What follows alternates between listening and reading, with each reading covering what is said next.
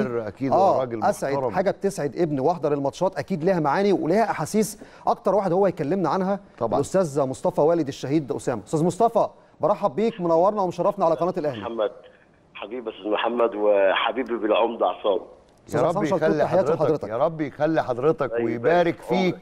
ويبارك في عمرك ويبارك في أولادك الله يبارك أنت راجل رب. ضربت مثل عظيم اتفضل يا فندم الله يبارك فيك الله يبارك فيك اتفضل سامعينك عايزين نسمعك. يا أستاذ محمد والله أنا بص سمع النبي يعني. عليه الصلاة والسلام. لا سا- سامحوني بس عشان إيه يعني الصوت ممكن يكون مغل مغلق شوية. ما هو باين. من الماتش. بس آه يعني بس الدنيا شباب برضه ما تخافش. ربنا يديك الصحة. حبيبي يا أستاذ محمد. إحساسك وفكرتك إنك تكون مكان أسامة في كل مباريات الأهلي وإنك كمان تكون موجود في الثالثه شمال موجود في آه، المكان اللي دايما هو شرارة الحماس لكل جمهور النادي الأهلي في كل المباريات. يعني انت عايز تقلب المواجع صح؟ لا لا خالص. لا الفكرة هنا فكرة إنسانية. أنا بص أنا هجاوبك من الآخر. آه. إحنا وصلنا بعد معاناة وكبد و و لحد لما وصلنا إيه بوابة 8 إحنا مشينا تقريبا بتاع 5 6 كيلو وبلا مبالغة. مم. و... وطلع والتذكرة درجة أولى. كان معاك تذكرة درجة أولى. درجة أولى. تمام. طلعت لقيت نفسي قاعد في تراب ببص شمالي لقيت ال... الحياة منورة. امم فما ينفعش أنا أقعد هنا. جات لي حالة كده هوت ما قدرتش أمسك نفسي لحد لما قابلت أخونا محمد عزت واقف تحت رنيت عليه ورحت نازل له فتح لي الباب ورحت طالع. تمام. و... وطبعا أنا بيعرفوني 10 10 10 15 واحد وأنا طالع المدرج يعني رحبوا بيا شوية. قلت لهم طبعا المنظر ما تنفع ما فيش مكان تقدر تنزل منه يعني. تمام. لكن هم عشان إيه استرقفوا بحالي كده راجل عجوز وكده. قلت لهم بس وروني إيه السلالم بس. مم. و- وروني السلالم ونزلت وهوب رحت طالع على السور. ولا كأني مشيت حتى 20 كيلو ولا ولا ولا حسيت بأي حاجة. مم.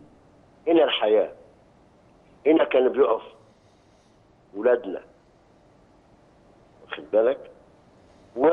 وطبعا لقيت جدل المدرج. انت سامعني؟ سامعك سامعك وبنصت لك بكل اهتمام.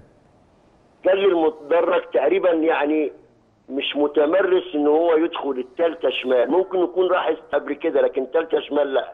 لكن يعني إيه ما ما فيش ممارسة يعني. المهم وسمعت كلام بوداني كده هو يعني لازم تعديه في اليوم ده. فقررت تقود المدرج بقى زي أسامة وزي الشباب؟ واخد بالك؟ أنت طبعا انت أنت تعلم الشباب كانوا بيعملوا إيه في المدرج؟ وبعدين إحنا مش عايزين نزايد على حد. طب انت دايما على طول يا أستاذ أستاذ مصطفى بتحضر الماتشات بتروح مباريات الكورة أو آخر مرة رحت كان إمتى؟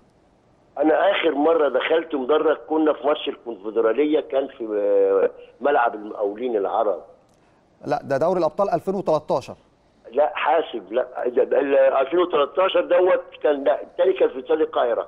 يبقى الكونفدرالية 2014 أيوه الجول. بتاع عماد متعب في الدقيقة 93 صحيح مظبوط مظبوط. وبعد كده وبعد كده م- اتمنعنا من الدخول. لظروف معينة بالظبط لظروف معينة إحنا ما نقدرش نتكلم فيها لحد لما يعني ال- ال- الماتشات اللي ما اللي يقول لك خش دخلوا فيها 100 ولا دخلوا فيها 200 ولا دخلوا فيها ما أعرفش إيه ده ما ده أو جمهور الكرافتات يعني أو ال- القمصان الزرقاء ما ينفعش في التشجيع. واخد بال حضرتك تمام. لحد لما جت ال- ال- الصدمة بتاعت ماتش الذهاب.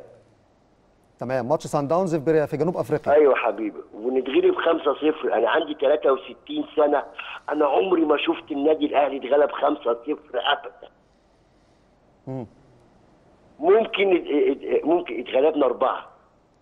لكن خمسة لأ. تمام.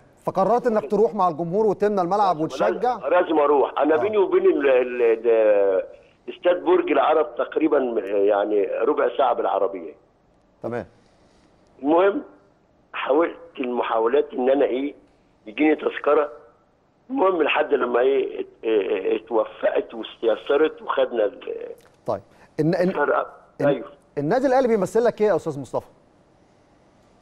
لا كده يا محمد يعني أنت كده هو بتطعن في اهلاويتي النادي الأهلي ده حياة يا إخوانا. النادي الأهلي ده وطن.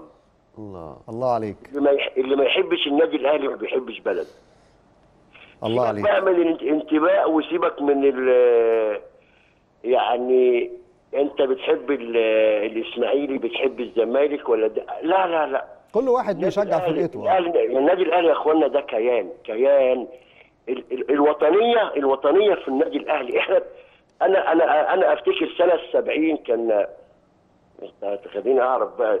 سنة 70 كان في نادي الجزيرة كنا إحنا ك- في منظمة الشباب والطلايع. آه.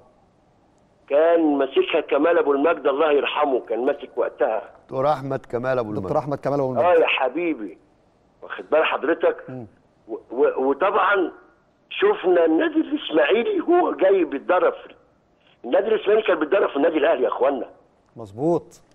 ال- ال- النادي الأهلي بقى اما بنقول النادي الأهلي يبقى هي كل حاجة تمس الوطنيه تمام. أستاذ مصطفى. أستاذ مصطفى أنا أنا سعيد جدا بمداخلتك ومكالمتك واطمنت عليك ووجودك في المدرج.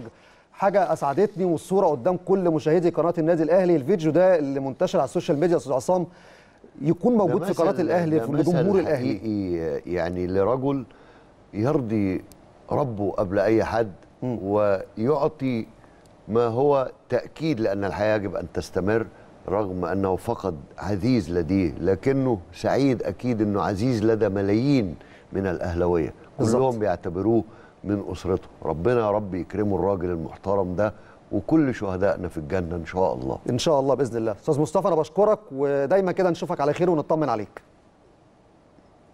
شكرا جزيلا للأستاذ مصطفى.